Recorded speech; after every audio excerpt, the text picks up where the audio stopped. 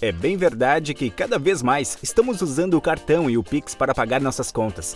Mas o dinheiro impresso continua presente e importante no nosso dia a dia. Aí fica a pergunta: tá, mas como que eu faço para sacar dinheiro se minha conta é digital? É simples. Com a sua conta corrente PAN, você tem direito a até 4 saques gratuitos por mês. Caso você precise de mais, os saques excedentes custam R$ 6,00. Mas onde eu posso sacar?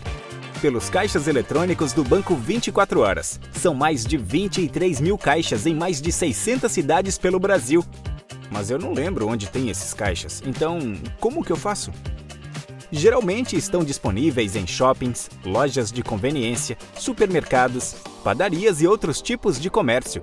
Mas caso você tenha dificuldade para achar algum aí pertinho de você, basta acessar www.banco24horas.com.br barra para traço você barra encontre traço 1 traço caixa.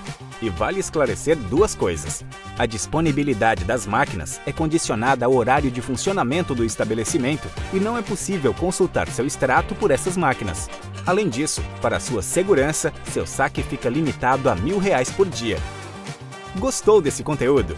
Então se inscreva no canal do Banco Pan aqui no YouTube, ative o sininho para receber novidades e compartilhe com outras pessoas.